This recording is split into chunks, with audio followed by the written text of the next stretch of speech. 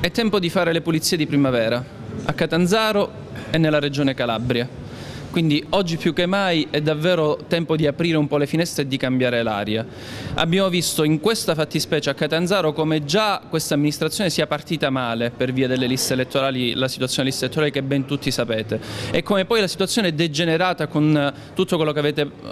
potuto apprendere dagli organi di stampa e avete visto la varie situazioni sugli appalti e sull'acqua e sulle multe e quant'altro. Eh, sulle technicality poi vi risponderanno meglio loro che hanno preparato l'istanza che attualmente è a Roma, per cui è già al vaglio del Ministero.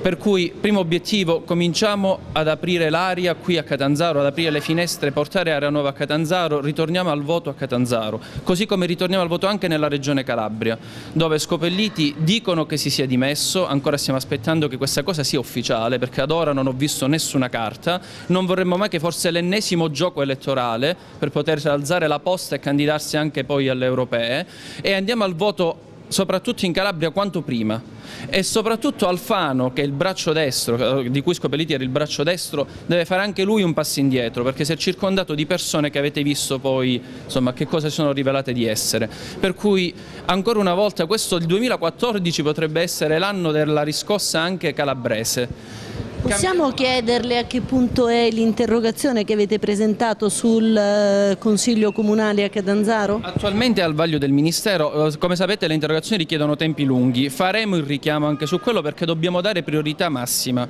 Come abbiamo detto iniziamo a fare le pulizie di primavera, è basilare, andiamo al voto quanto prima, restituiamo ai cittadini la possibilità di potersi esprimere e di avere dei rappresentanti del, degli organi che siano degni dei calabresi.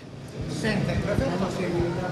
il prefetto si Ok. prenderà atto ha espresso qualche considerazione in merito a quanto voi avete Ci ha riferito che l'istanza è a Roma, abbiamo fatto una chiacchierata anche informale diciamo, a microfoni spenti, ovviamente insomma, ci sembra corretto non, insomma, che le considerazioni rimangano eh, diciamo, in quelle stanze, ma appena diciamo, le, le, cose andranno avanti, la magistratura andrà avanti, poi vedrete anche gli atti che ha in mente. Poi da questo punto di vista loro che sono avvocati sono molto più esperti e tecnici di me, oltre ad aver redatto appunto anche l'istanza, vi chiariranno meglio anche le technicality.